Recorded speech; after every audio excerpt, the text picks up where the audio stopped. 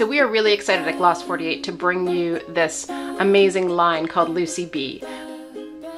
So these are their eau de parfum sprays and these are delightful little bottles. They're totally beautifully packaged and the scents are so unique and just so different than anything that's on the market today.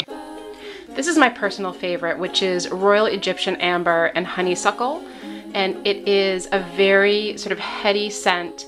It's probably more of a nighttime scent, um, but it is just absolutely gorgeous. My favorite for daytime would be Royal Green Fig and Vanilla Woods, which actually is, really does smell very kind of woody and a little grassy, but it, it is just a, a beautiful, beautiful, fresh daytime scent. All of these perfumes come in perfume oil roll-ons, which are the perfect size to fit in a purse or just in your cosmetic bag to kind of have handy if you travel or if you're you want that sort of freshening up at the end of the day when you're heading out on the town.